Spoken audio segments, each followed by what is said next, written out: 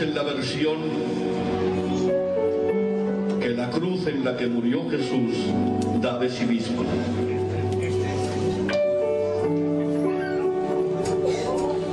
Del monte en la triste cumbre, la cruz se quedó vacía. Entre pálidos vislumbres ya la tarde se moría, aquella tarde tan triste, al fin del más triste día. Quedó los brazos abiertos como implorando muy sola. Quedó un sangriento madero por trono vacío ahora. En alto el regio letrero que la sombra borra y borra. Quedó mirando a sus plantas, bien cerquita en la el huerto de cercas blancas de José de Arimatea y a una cueva virgen santa que ya se cierra y se cierra. Quedó llorando su culpa de haber matado al cordero.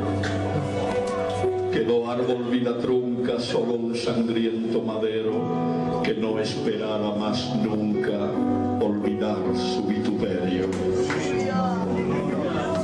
Cumbre maldita monte de la calavera, en letal sopor sumida, en garras de cruel pena, recordando a un alma buena que entre sus brazos gemía.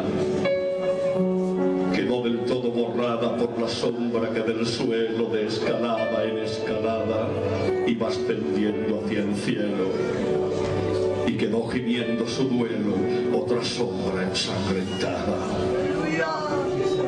Unas horas largas, largas, y unas sombras negras, negras, y luego unas rosas blancas floreciendo en luces bellas al morir de las estrellas más allá de las montañas.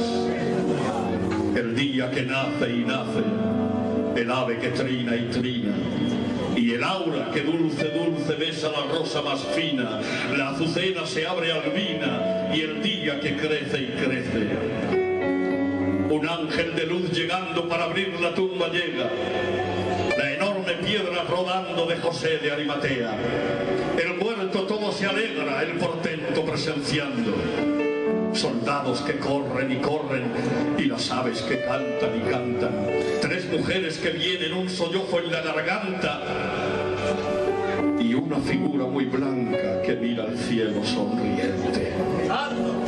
Después un lienzo muy blanco con cinco estrellas sangrientas. Después un dulce silencio cual selaz de paz perfecta. Después una tumba abierta y la sonrisa del cielo pues la tumba vacía por Cristo resucitado y ya la muerte vencida y ya el gran pacto firmado por Cristo quien ha pagado nuestras culpas son ya redimidas.